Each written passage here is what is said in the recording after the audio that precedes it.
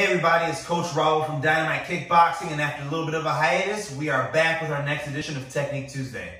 Today for Technique Tuesday, I want to keep things very simple, very basic, and simply discuss the difference between a speed jab and a power jab.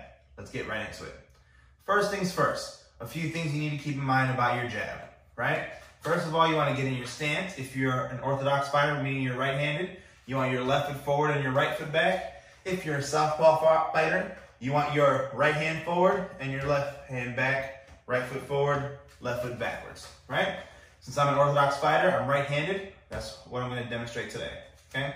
So, you're in your stance, your chin is down, your hands are up, you're protecting yourself, right? A speed jab is used to set up your power punches, okay? And if I wanted to throw a speed jab, I would simply just throw my arm. So I'd be here and throw a left straight punch and then bring it back. From here, boom, boom, boom. I'm just using it for speed. I'm using it for setup purposes. I can use that jab to touch, touch, touch, and then I can follow with a hard right cross afterwards, or a kick or a knee, etc., etc. okay? With the power jab, you're actually pushing off of your rear leg and stepping forward with that jab. Boom. Boom. Okay? And with this one, what you'll notice is that when I'm throwing this jab, I'm pushing off of my rear leg, boom. And I want my fist and my foot to connect simultaneously, okay? When I throw that power jab, I don't want to punch and then step. I don't want to step and then punch because there's no connection there.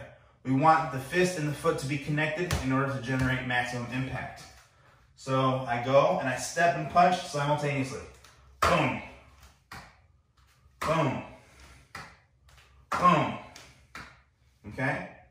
For my southpaws, once again, using your right jab, if you just use your arm, that's speed. If you push off of your left leg and step forward, boom, that's a power jab. Try those out, experiment, mix and match with them next time you're shadow boxing, hitting pads, sparring, drilling, etc., etc., and really try to find the difference between that speed jab and the power jab.